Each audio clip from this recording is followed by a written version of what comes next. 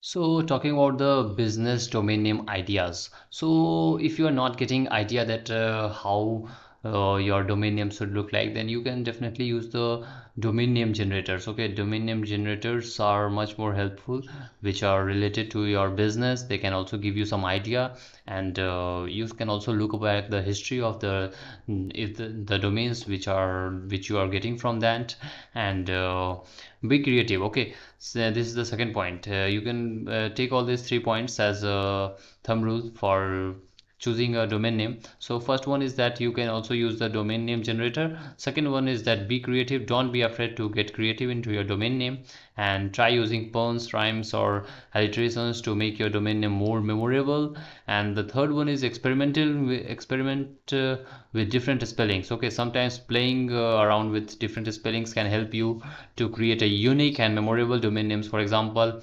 innovativ dot com. Okay so here e is missing but it's uh, fine.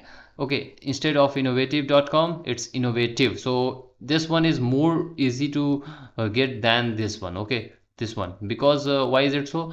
Uh, you know because dot com this one is very common word in the english dictionary and it might have been taken by the people. But here just removing a single letter from this innovative the chances of getting it gets increased. Okay so just do experiment and follow these three tips and you will definitely get a better domain name for your business